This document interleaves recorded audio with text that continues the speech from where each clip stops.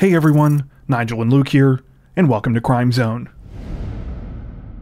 If you've tuned into some of our recent videos, you might be aware that we recently passed 100,000 subscribers on the channel. To celebrate this mind blowing milestone, we wanted to do something special, and last week we asked you for suggestions of cases that you wanted to see covered. Thanks so much to everyone who took the time to respond. As usual, you all came out in full force with great suggestions. Today, we're going to be taking a look at two of the cases randomly selected from that list. Be sure to let us know what you think, and if you want us to continue covering more suggestions over the next couple of weeks. Before we get to the video, we just wanted to thank all of you once again for your support. We really could not have gotten here without you, and we're totally overwhelmed and appreciative to have reached such an amazing milestone. Okay, with that out of the way, let's get into the first of today's cases. Be sure to look out for a link to the second video in the description below.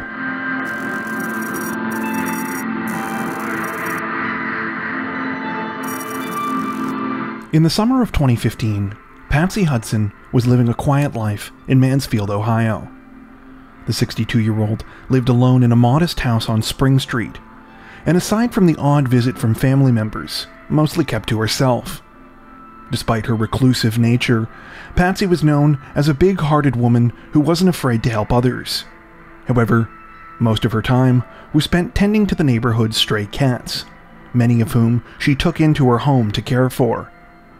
On the intermittent occasions that she was spotted outside the house, she could even sometimes be seen walking some of these cats around in a baby stroller that she had for them. However, in the middle of that summer, neighbors and family members of Patsy's began to notice something strange.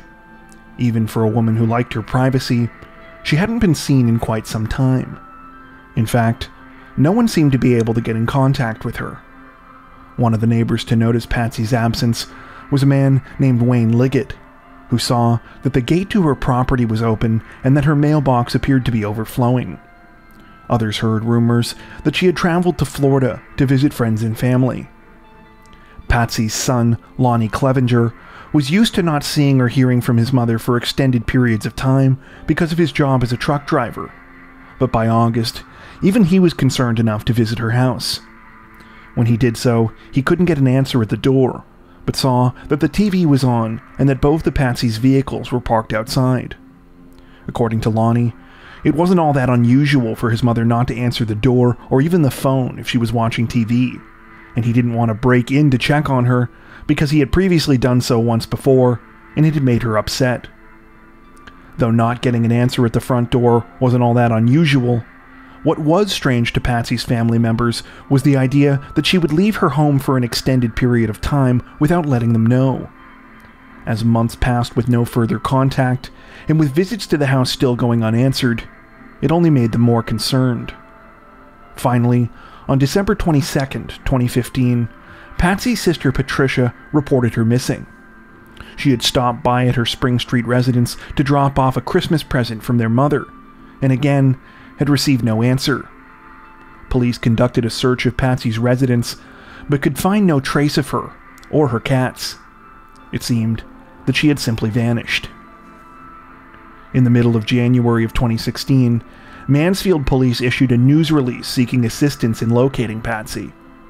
Few details were included in the release other than her identifying information, but it did note that Patsy had last been seen on July 4th. Less than a month later, in early February, more information was given to the public about this last reported face to face encounter. It turned out that Patsy had been involved in a dispute with her next door neighbors concerning her cats around this time, which had led to her filing a police report. According to Patsy, one of her cats had been poisoned and another had been killed. The neighbors involved in the dispute were identified as a couple a 53 year old man named Walter Renz, and his girlfriend, known only by the name Kara. Curiously, they hadn't been seen since early July either. Relatives of Walter Renz said that they were baffled both by his disappearance and Patsy's. Walter had moved into the home next door to her just a few months earlier. It was a rental property owned by his cousin Dwight Wallen. When interviewed by police, Wallen told them that he had allowed Renz and his girlfriend to live there because Renz was homeless and unemployed. Wallen also told authorities that he knew that the relationship between Renz, his girlfriend, and Patsy had been somewhat rocky.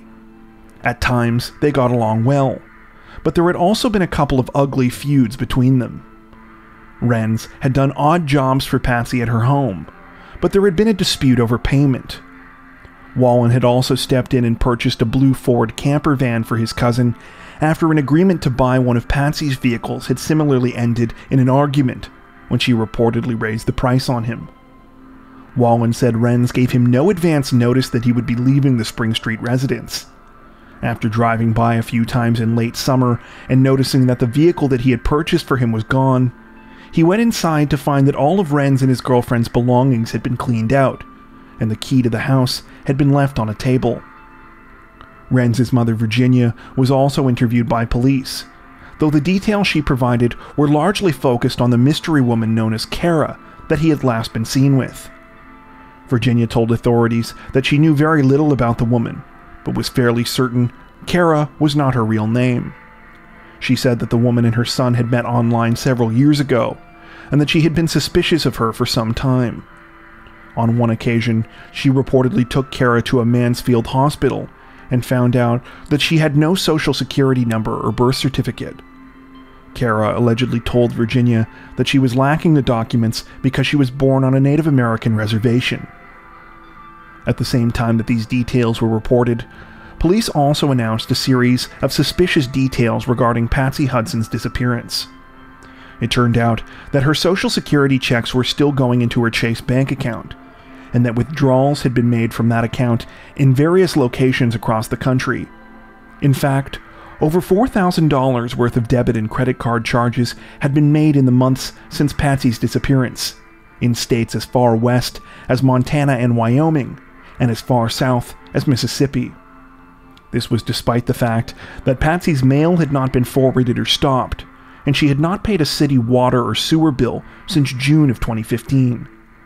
Aside from an electricity bill that was set up for automatic payments, there was only one bill that Patsy still seemed to be paying on time a Verizon cell phone bill. There was just one problem Patsy never had a cell phone. Needless to say, investigators were eager to speak to her former neighbors about her disappearance. Just days after this flurry of revelations was made, the public received another update Walter Renz and his girlfriend had been arrested. The girlfriend was finally identified as 57 year old Linda Buckner, a woman with many aliases who had active warrants for her arrest out in Kentucky and who had been evading law enforcement for some time. Renz and Buckner were captured by federal agents from a U.S. Marshals Task Force on February 4, 2016. They were found at a roadside campground in Lewis County, Tennessee. Renz was held on a charge of receiving stolen property, while Buckner was held on one of the warrants she had in Kentucky. A few days after the arrests of Renz and Buckner, another chilling announcement was made. Police had found human remains in several places in northern Richland County, just a few miles outside of Mansfield. It would take three months for any updates to be given regarding these remains, but finally, on May 10th, the public received the grim news. They had been confirmed as those of Patsy Hudson. According to reports, following his arrest, Walter Renz had led police to seven different sites where partial skeletal remains were found. Among them, a pelvis, cranium, an upper arm, and two lower leg bones. DNA testing on the bones was able to confirm that they had all come from Patsy Hudson. However, due to the fact that only a small portion of the total remains were recovered, no official cause of death could be determined. Authorities theorized that the death had resulted from some sort of injury to the neck, either from a knife or from strangulation. At a press conference, prosecutor Bambi Couch Page said that Patsy's death was amongst the worst crimes that she had ever seen, and that Patsy had been violently killed, dismembered, and discarded. At the same time that these details were released, prosecutors also announced a slew of new charges against Renz and Buckner, including aggravated murder, tampering with evidence, abuse of a corpse, and misuse of a credit card. Both would go on to plead not guilty to all of the charges and would have their bond set at $250,000. Though both received speedy trial dates, these proceedings were postponed after lawyers in both cases intervened. Buckner's lawyers argued that they needed more time to prepare for her trial due to the complexity of the charges against her, while Renz's lawyer entered an insanity plea on his behalf. In October of 2016, Renz was found unfit to stand trial, and the proceedings against him were put on hold indefinitely while he underwent treatment to, quote, see if he could be restored to competency.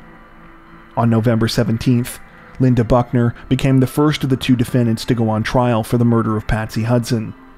Her defense strategy was simple. Renz was apparently to blame for everything involving Patsy's murder and disposal, while she had simply used the dead woman's credit card. The defense further claimed that Buckner hadn't actually even been in the state when the murder occurred, and that she had only found out about it later. Prosecutors, meanwhile, argued that the couple had both been in on the crime together and that the motive had been financial gain. In order to push back on the claims that Buckner wasn't in the state, they provided statements from several different witnesses who said that they had seen Buckner, Renz, and Patsy arguing on the day before she made the call to police about the alleged poisoning of her cats. Patsy's son Lonnie also testified that when he called his mother's house around this time, an unknown person had answered, and it had been a woman. On the last day of the trial on November 29th, Buckner took to the witness stand for nearly three hours, saying that she had nothing to do with the 62 year old's death. She said that she had arrived at the house after the crime had been committed and found Patsy dead in the bathtub, presumably from a wound to the neck. This seemed to not only contradict statements that had been made earlier during the trial, but also did not match what Buckner had told police during her interviews with them. During questioning, she had never said anything about a neck injury and had previously stated that neither she nor Renz had harmed Patsy. Prosecutors argued that Buckner was lying then, and she was still lying now, and that the evidence pointed to her involvement. On November 30th, a jury agreed, convicting Linda Buckner on all charges. She was subsequently sentenced to life in prison without the possibility of parole.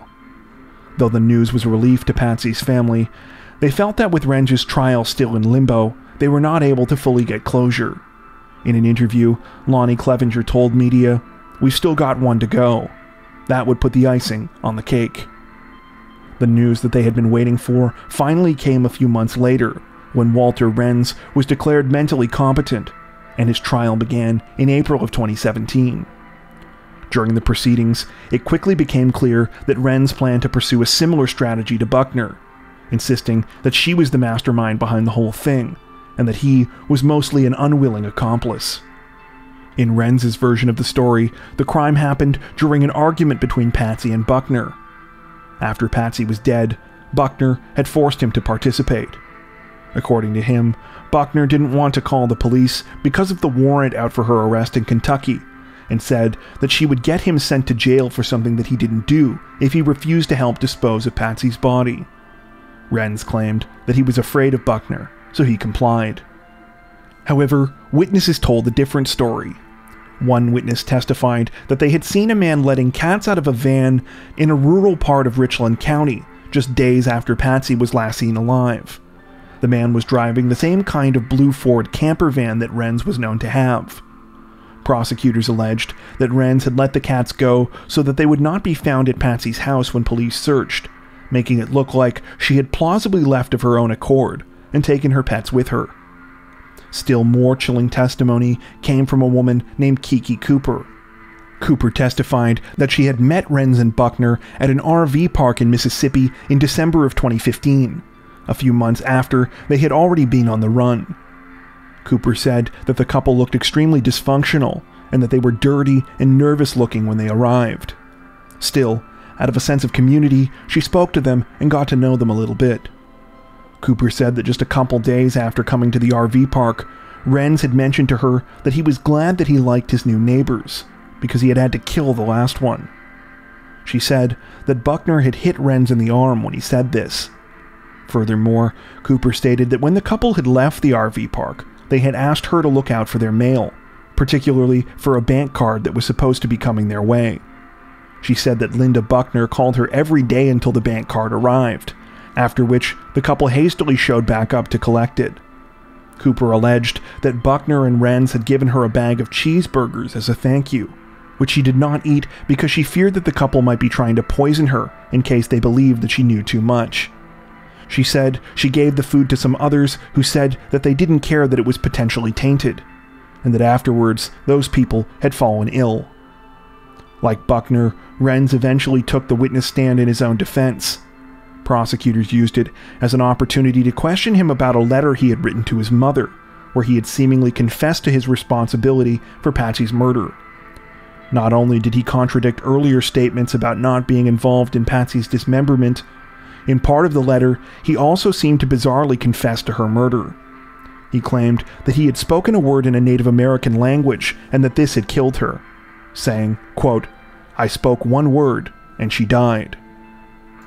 Just like with Linda Buckner, at the end of his trial, Walter Renz was convicted on all charges, and on April 24, 2017, he was sentenced to life without the possibility of parole.